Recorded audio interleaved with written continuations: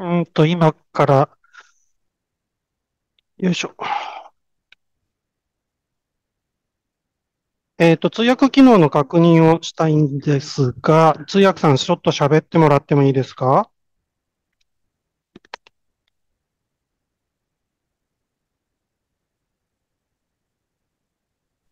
セスさんいらっしゃいますか？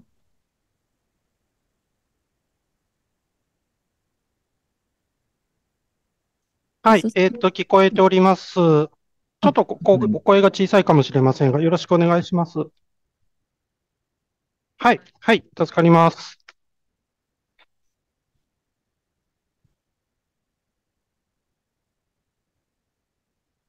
So for now, the interpretation function is on.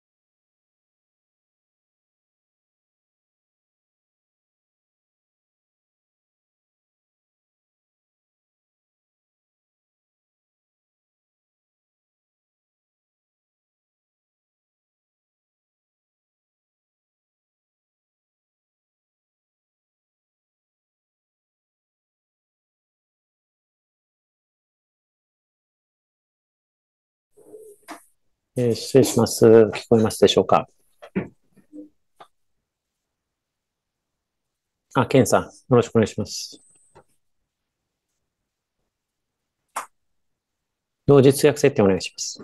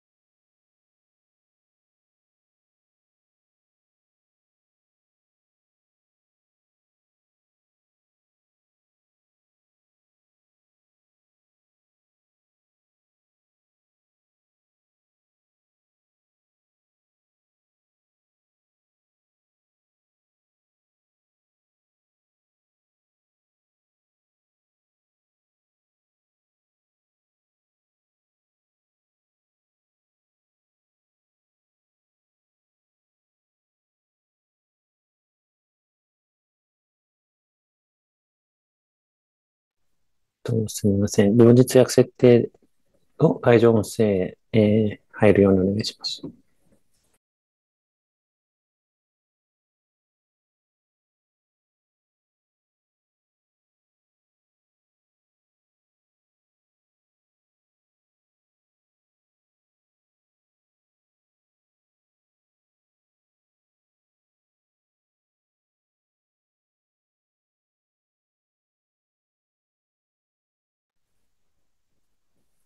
Uh, Alex, if you can hear me, I can't hear you.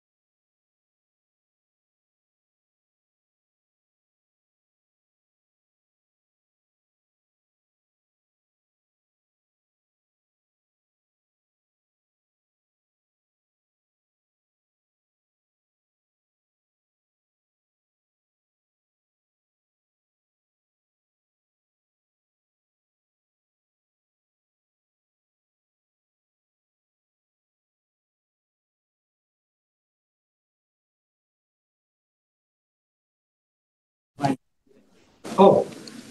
Oh. Can you hear me now? I can hear the hall. I Yeah, can hear can- you, Alex. And Yeah. now, We I all need to- good? uh, not yet. I need to be set up as a simultaneous interpreter, so otherwise you can't speak uh, continually without being interrupted by me. Uh-huh. And, and just a brief note, I don't think it's germane to you because you're very methodical in your speech, but uh, I tell speakers not to speak too fast uh, because the interpreter cannot keep up if you speak really, really fast in your native language. Yeah, got it. I'll try not to talk too fast. Yeah, shouldn't be a problem. All right, just let me know when you're ready for me to go. Okay. Uh, is Ken Matsumoto there? 松本さん、同日訳設定お願いしてますよね。すいません。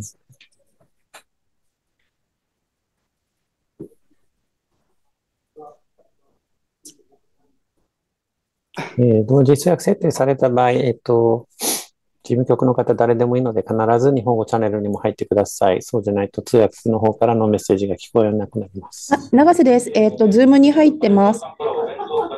えっ、と、ルーム、ちょっと対応してもらいます。ちょっと待ってくださいね。はい、どうも。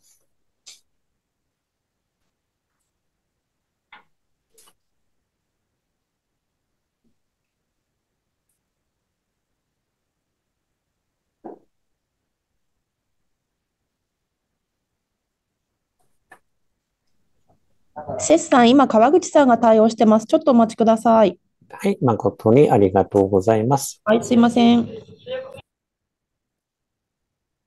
えー進行中、事務局の方、必ず日本語チャンネル誰かセットしてください。そうでないと通訳者からの悲鳴が聞こえません。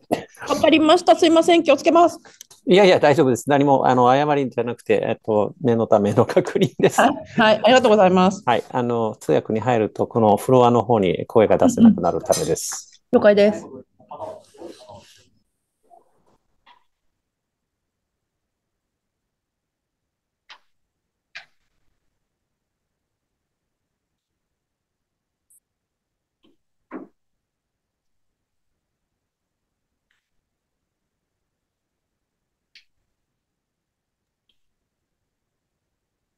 セスさん、今、通訳モードの設定がされたようなので、ちょっと確認お願いします。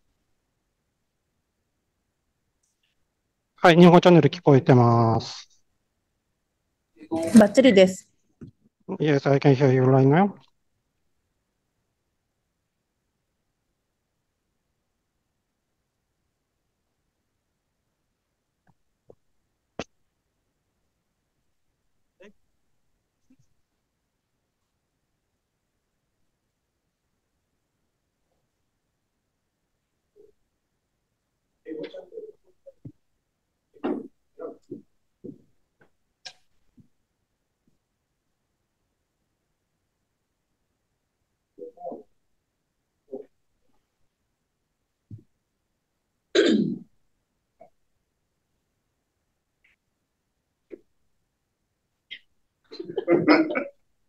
I'd be happy to talk.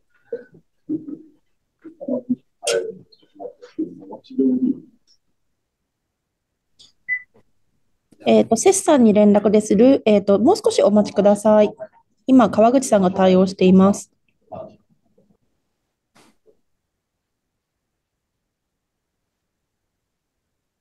皆さんもう一回、えっ、と、アレックスに話しかけてもらって、あ、違う、違う。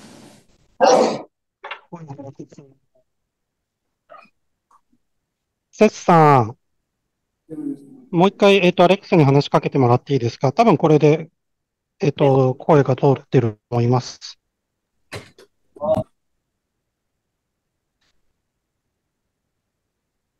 いやいや。いや、OK。Are we good to go? All. Thank you very much. どうぞよろしくお願いします。Hmm. That's all the Japanese I know. この通って、 So the rest will be in English. Thank you very much for joining me today. Uh, I want to call out all the organizers, all the speakers, all the sponsors, all the volunteers, and all of the people here today that make Scrum Tokyo a wonderful place to be. So thanks for joining me today.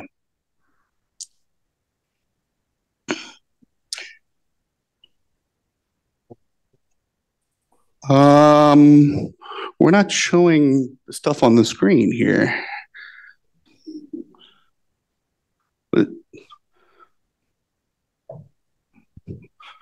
Bear with me.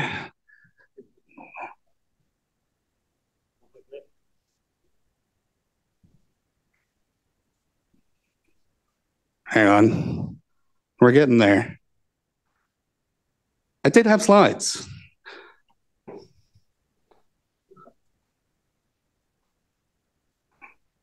We're fixing technology.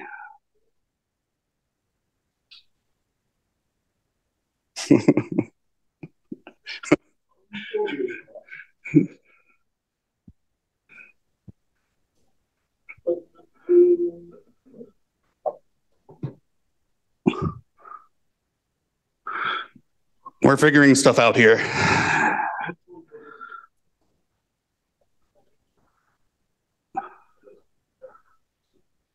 Yeah.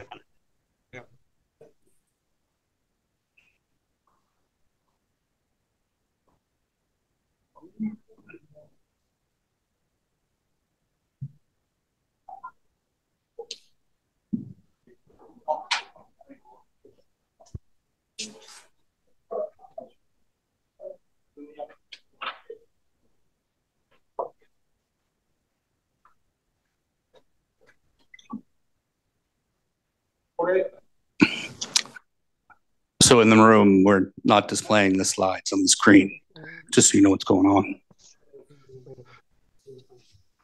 Okay. Share screen again.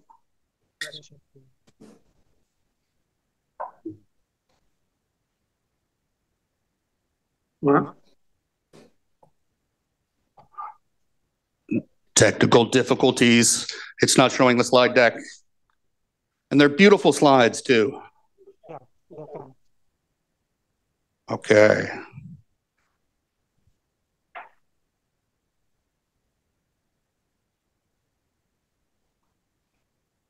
Okay.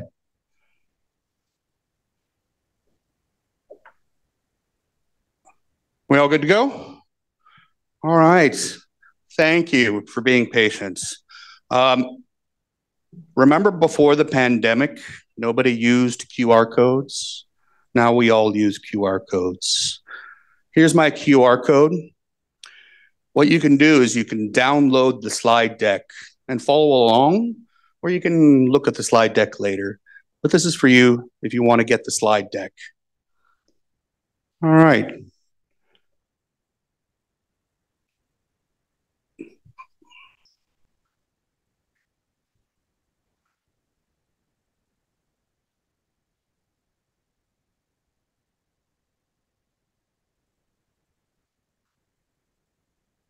We're getting there.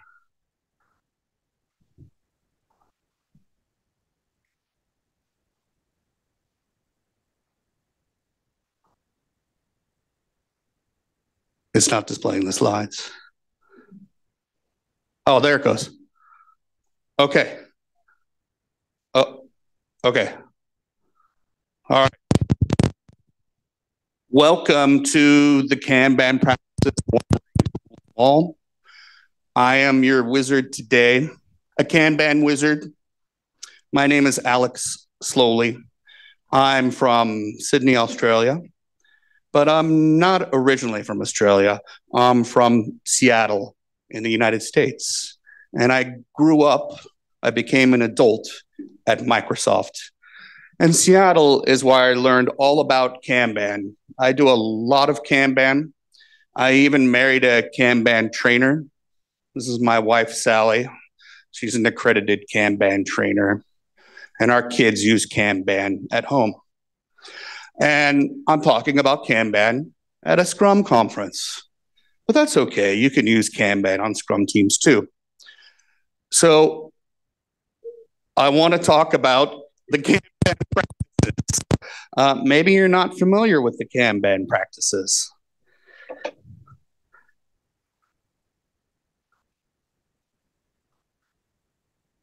Bear with me, it's connecting again.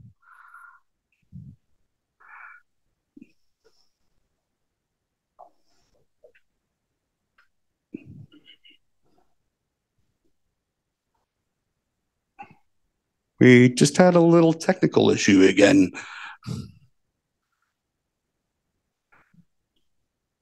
Okay. I think I might be able to fix this myself. Let's see.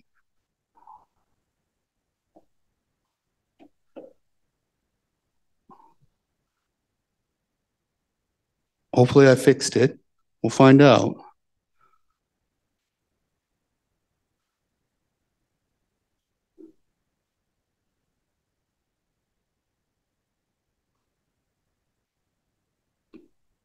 If we're lucky, it's fixed.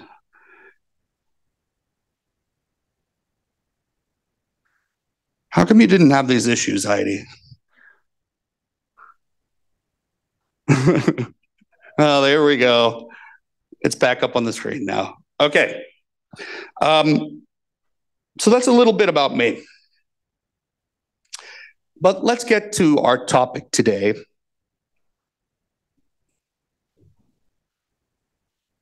We're going to talk about the Wizard Tower of Kanban.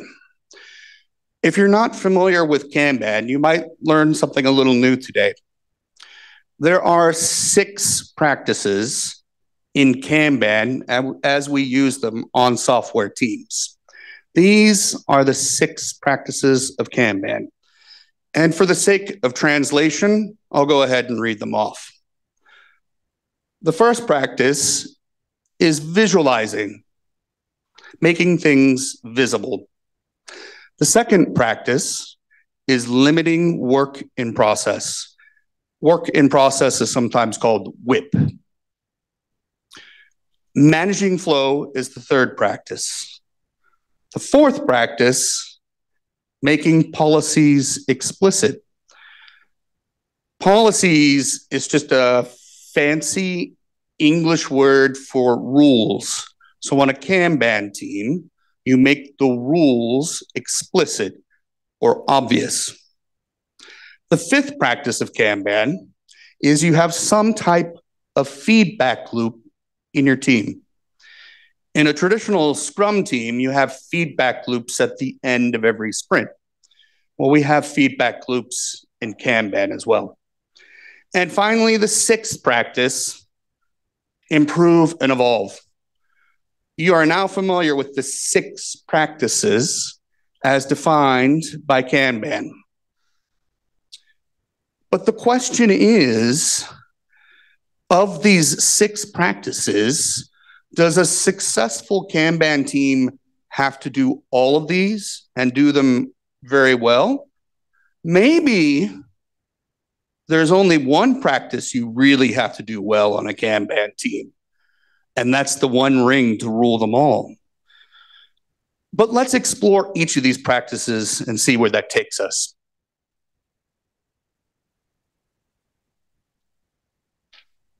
The first practice we'll explore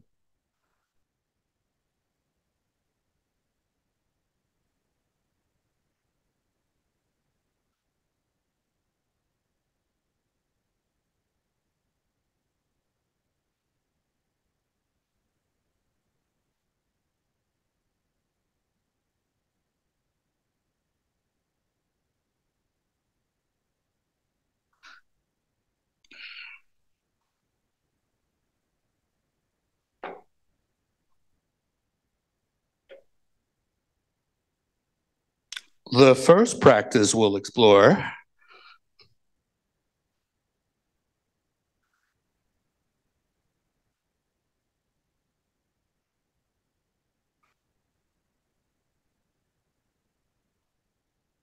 Ah, here's the first practice we're going to explore. We're going to explore visualization. The KMPs are the Kanban management professionals, and they're very invested in visualizing their work. You can see this wizard is visualizing his work using sticky notes, a very common practice for Kanban teams to have, visualizing on sticky notes. But you could visualize in software, for example. It is one of the six practices, but is it the most powerful practice? Does a Kanban team have to visualize?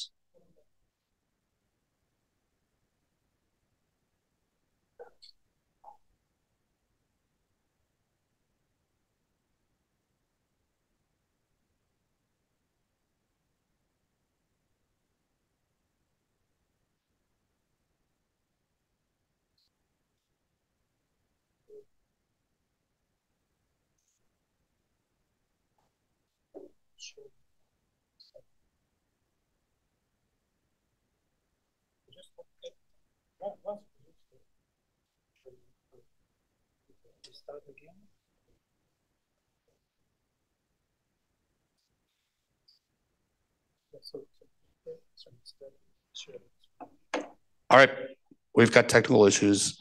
I'm stopping the screen sharing.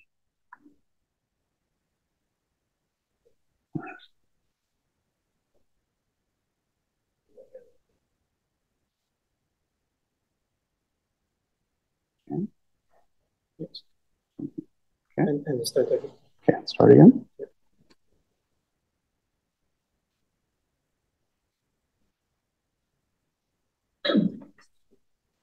All right, I apologize for the delay there. All right. So let's visualization. Do you really need visualization? Well, there are teams with people who have limited vision. They can't see. So, how can a Kanban team with a team member who can't see or who has limited vision, how can they be on a successful Kanban team?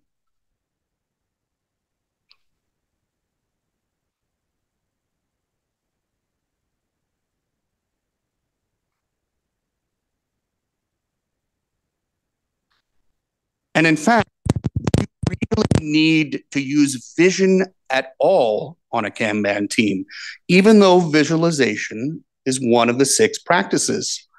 Can you use your other senses? Can you use your senses of taste or smell or touch? There are many different types of signaling systems in the world that do not rely on sight.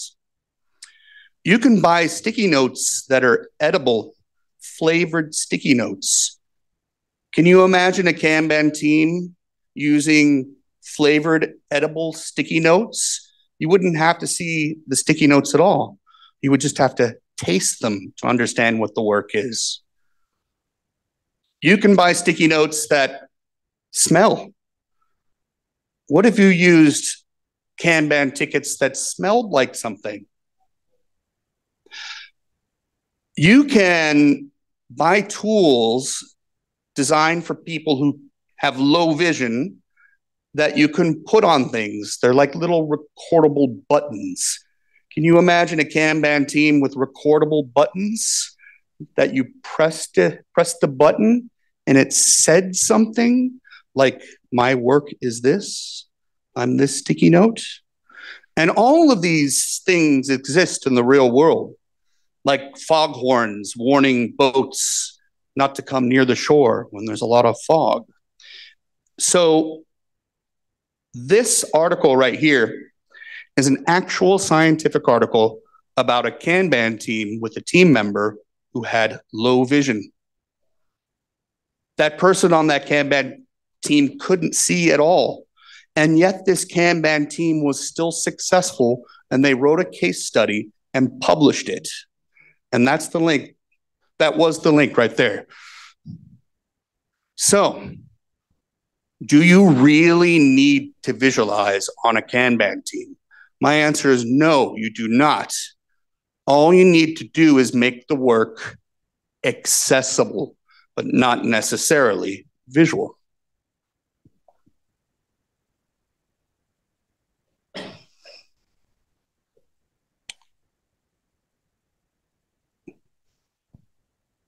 Which brings me to Kanban practice number two.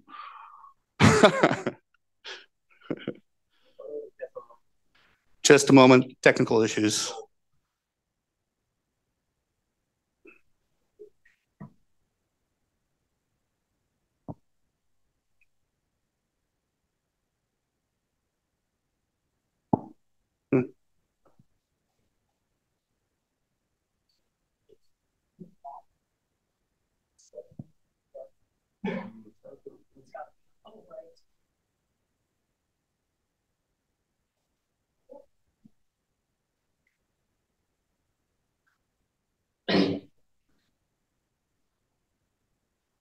Entertain you. dance. And then dance, right? Kanban dance? You can return the favor of me That's easy. suggesting those pretty things. if you Kanban dance? The Kanban dance is this. Sticky notes, right? Prioritize the backlog. Alright.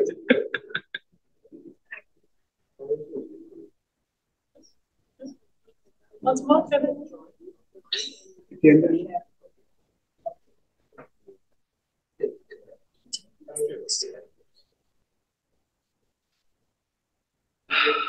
The questions from the crowd?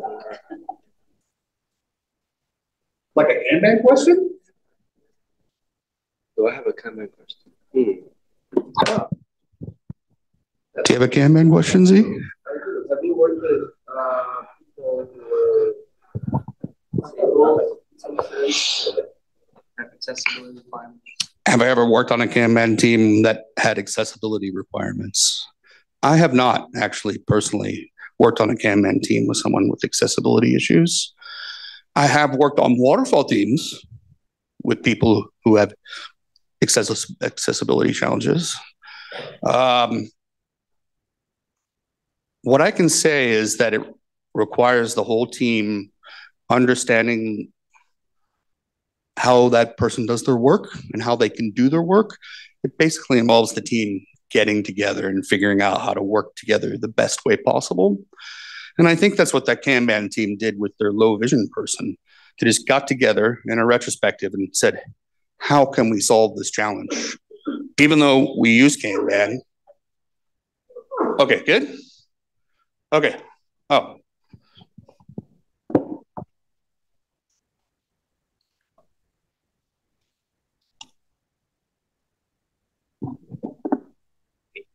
Okay. Okay. I've been told it's okay.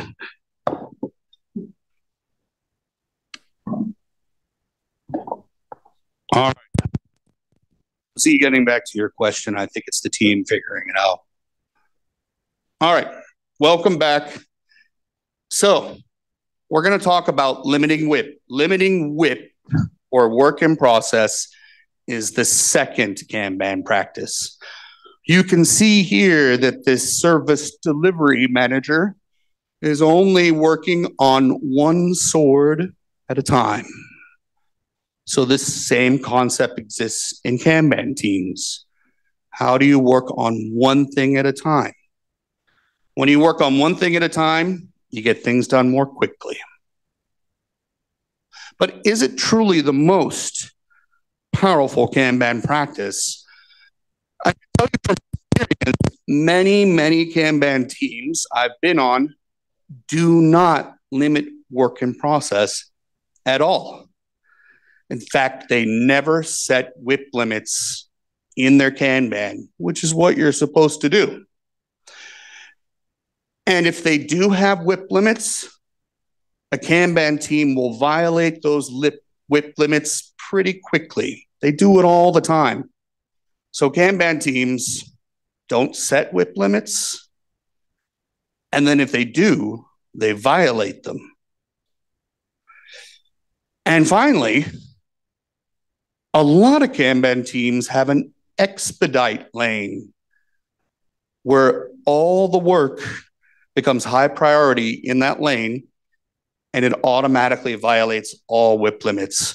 So teams, successful Kanban teams, often don't limit work and yet they're successful. So this also must not be the most important Kanban practice. What about the third practice then? This is for the service request managers. And that third practice is managing flow. Just like that wizard is managing the flow of that potion. In a Kanban, you should be able to see the work flow through the system. That's what Heidi was talking about earlier today, the Kanban team, wanting to see the work flow through on a daily basis. But is it really that important to practice? Many Kanban teams create a column in their Kanban for blocked work, which immediately blocks flow. Some Kanban teams don't even figure out how their work is represented in their Kanban. The columns in the Kanban are supposed to represent the work flowing through the system. They may not have interpretation of how their work flows through their columns at all, in which case they don't see any flow in the Kanban. Or they might use a generic workflow for their Kanban to do in process done. You can't see flow at all where the work is, where it's going, where it's been. Or maybe they have a really rigid workflow where a Kanban team's Kanban board is applied across an entire company. 50 Kanban teams all using the same workflow, even though they do their work in different ways. And yet these Kanban teams are still successful to a certain extent. So that also means that managing flow is not the most powerful practice.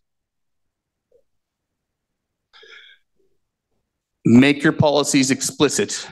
Just like this accredited Kanban consultant is writing down the rules of the road for his team. Every Kanban team is supposed to make their rules of how they work together and how the work gets done explicit. But many Kanban teams never make those policies explicit. You're supposed to write the rules of how the work flows through the system on sticky notes above each column. Here's how work enters the column.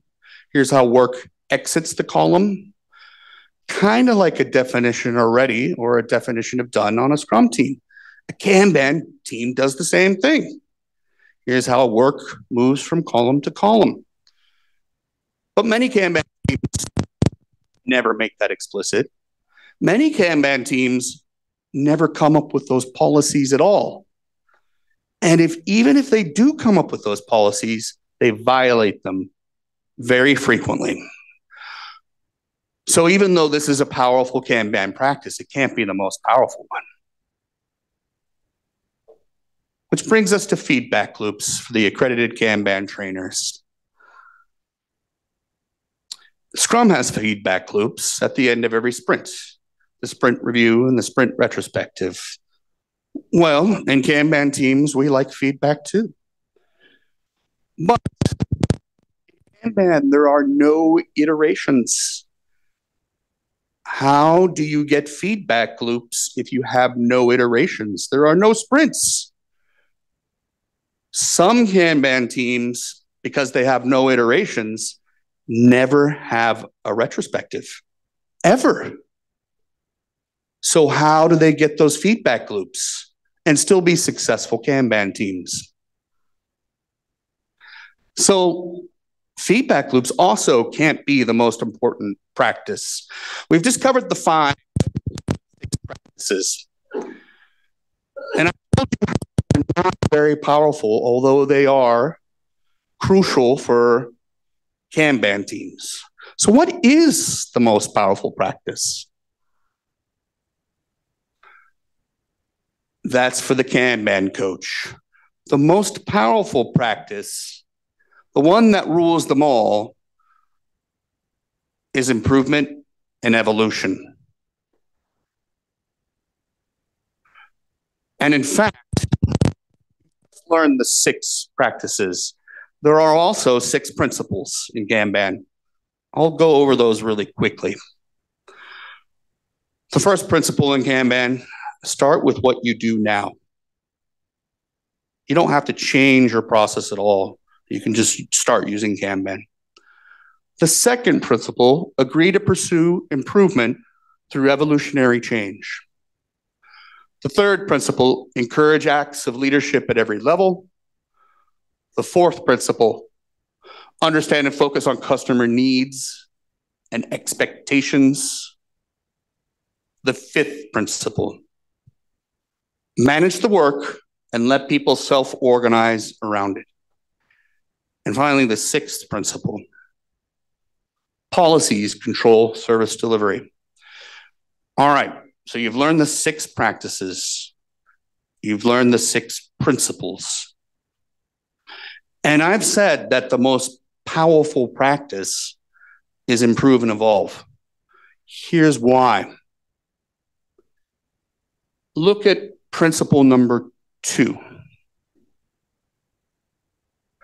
Improvement and evolution is so powerful that it is not only a practice, but a principle in Kanban. It is the only one like that.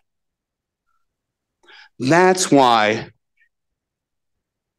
that is the one ring to rule them all. If there's one thing a successful Kanban team has to do, it's improve and evolve. All the other practices are useful. All the other principles are useful, but this is the most powerful one. Evolution can be good or bad. You can change things and evolve, and they might not work. Or they might work. But one thing is for certain if you stop evolving, you will die. And that's the most critical thing on a Kanban team. And in fact, I'd like to share a quote from a good friend of mine. That's Jim Benson. Jim Benson is the uh, one of the founders of the Kanban movement. He's the co-creator of uh, Lean Coffee. You may have heard of Lean Coffee. And this is what Jim says. You improve or you wallow in expensive amateurism. So what Jim is saying here is that on a truly professional team, you have to invest in improving and evolving. Otherwise, you're just an amateur. Now, thank you for your patience today. We had a lot of technical challenges. I'm very invested in the Agile community. I speak at conferences all over the world. I help organize conferences, volunteer, attend, speak. And I'm very glad to see all of you today because you are investing in improving and evolving. And that's the most powerful Kanban practice. And if you want to learn more about the Agile community, go ahead, check out my book. It kind of explains how you can get involved more. And thank you very much. I appreciate your time. And I believe we have time for questions now. Thank you. Domo arigato.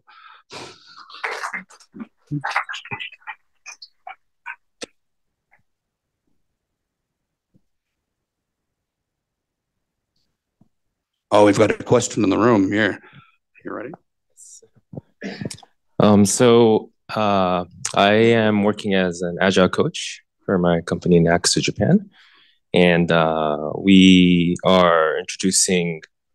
Um, we've been doing. We've been trying to do Scrum in sprints, but uh, you know there's certain uh, projects or product ways of thinking that works in sprints and some don't. So uh, I've introduced to some teams Kanban.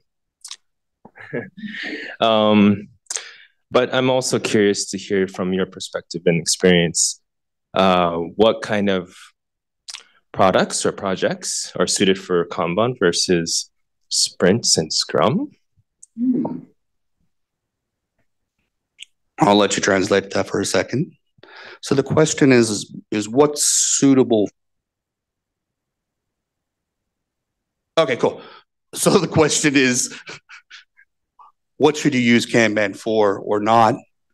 What should you use Scrum for or not? Remember how I told you I grew up at Microsoft? Hmm. Uh, on my first Scrum team, Kanban wasn't really a thing yet. So we use Scrum for everything. So I never found a project where I couldn't get Scrum to work somehow. And it's true today, the reverse as well. I've never found a project where I couldn't get Kanban to work too. I guess my message here is that you can figure it out by reflecting and slowly evolving and changing Scrum and Kanban to suit your purposes. Now, in day to day life, Kanban works really great for like uh, chaos, services. Um, and Scrum really works well when you've got like a product delivery cadence. Those are generally what I would say that they're really suited for. But if you try hard, you can use them for anything. Does that help? Cool. All right, what other questions?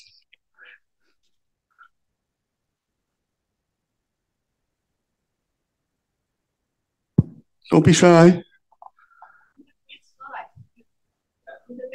Or did you let the artificial intelligence do the pictures for you? No, I painted all those myself. the question was, uh, who created the, our work on the slides? No, that is AI art. Yeah, yeah, it's pretty cool. Yeah. It was cool. Yeah, yeah, it looks pretty One of the best slides I've seen so far. So No. I did do the one with Jim Benson. All right, what other questions do we have in the room? You know, one of the five Scrum values is courage. Who has the courage to ask me a question?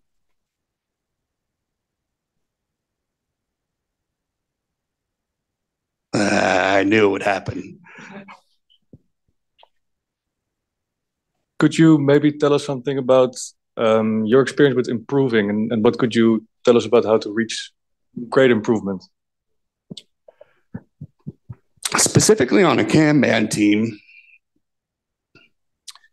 I can go into a company and I'll walk around the company, do like a Gemba walk, right? And I'll see all the dead Kanban boards lying around the office. The sticky notes have faded in the sun. They're like in a corner. Nobody's updated that Kanban board in like three years. I've been at places like that. They created a Kanban board three years ago, but haven't updated it.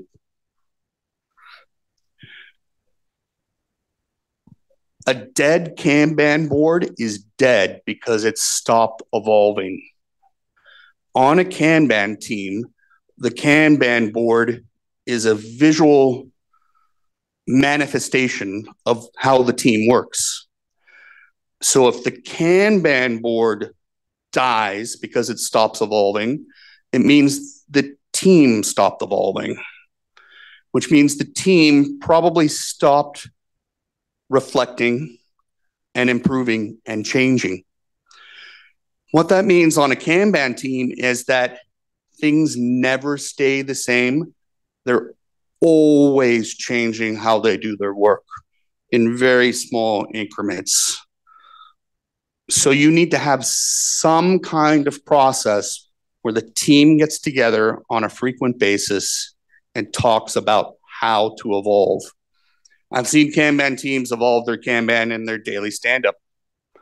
I've seen teams like do it at offsites. I've seen teams do it at some kind of retrospective activity. But somehow they have to figure out how to evolve because if they stop evolving, they die.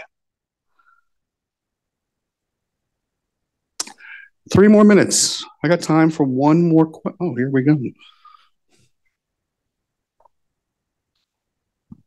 Uh, thank you very much. So actually, uh, if one team, um, Kanban team, um, wants to collaborate with the team who which is ad- adopting Kanban, not Kanban like a Scrum or waterfall with strict uh, deadline. Yeah. So uh, if they want to create one single product for let's say one library, Yeah. how to collaborate with the um, different uh, team with different methodology. Mm, yeah, great. So the question is essentially about dependencies between a Kanban team and another team, whatever they use, right? one, one of the practices is visualization. The most effective technique to manage those inter-team dependencies on a Kanban team is visualization. So if you have a piece of work in your Kanban team, you write on the sticky note, hey, this work has a dependency on another team. So you make dependencies visual on your Kanban board. I mean, you can do it however you want, pink sticky notes, or maybe you put the word dependency on the sticky note. Or another one I've seen is you have a row in your Kanban board that's dedicated to dependent work. So all the sticky notes in this row depend on other teams. So you're tracking your dependencies or visualizing your dependencies on a Kanban team. When you can start to do that on a Kanban team, then you can start having conversations about what the dependencies are, when are they due, are we going to have challenges? But first, you have to make them visual. All right. That's time. It is 145. Uh, I do know a little more Japanese. Are you ready?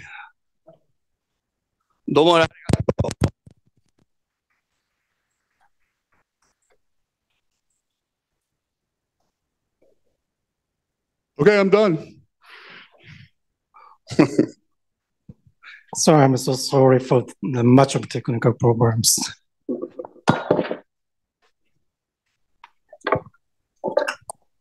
Thank you, everyone.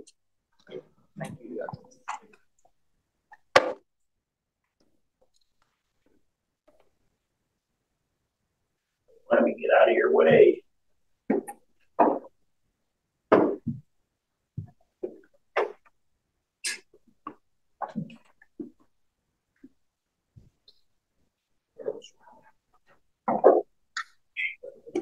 You and your next? Great, No, great job. あ、ちょっとね。呼びますね。あの、最初トラブルがあったようで、申し訳ございませんでした。ありがとうございました。無事に終わってよかったです。はい。Um. My only claim to fame. My はい。Um, uh, I はい、少々お待ちください。私もちょっとオンラインなので、会場の人に聞いてますね。私.別の通訳セッションに出ていて、これは出てなかったですね。はい、少々お待ちください。Yeah, I, I, I should have uh, charged money. yeah. Thank you. I appreciate that. Thank you. Oh, yeah.